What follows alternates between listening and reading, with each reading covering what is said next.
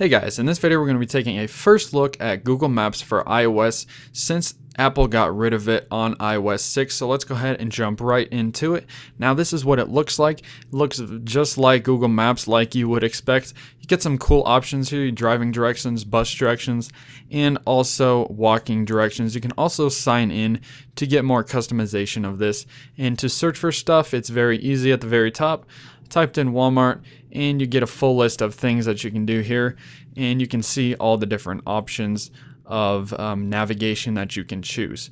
Now when we're zooming in here it's very easy to see your route. You can also pan around the map just like you can in Apple Maps and you also get satellite view of course and you also get street view so this is finally back and one thing that you can do is you can actually use the gyroscope to um, pan around and look around with Google Maps. This is pretty cool. I don't know if this is on Android, but this is pretty damn awesome for the iPhone. And you can also, of course, see traffic view. They didn't really leave anything out with this Google Maps application. So far, it looks pretty good to me. Now, this is what it's going to look like during turn-by-turn -turn directions with Google Maps on your iPhone. You can scroll through here and look at all the uh, turns that are coming up. But unfortunately, I can't just go out and drive and film myself doing this, so I couldn't show you turn by turn as of yet. But at the bottom, you'll see some time remaining, and you can also get a step-by-step -step list.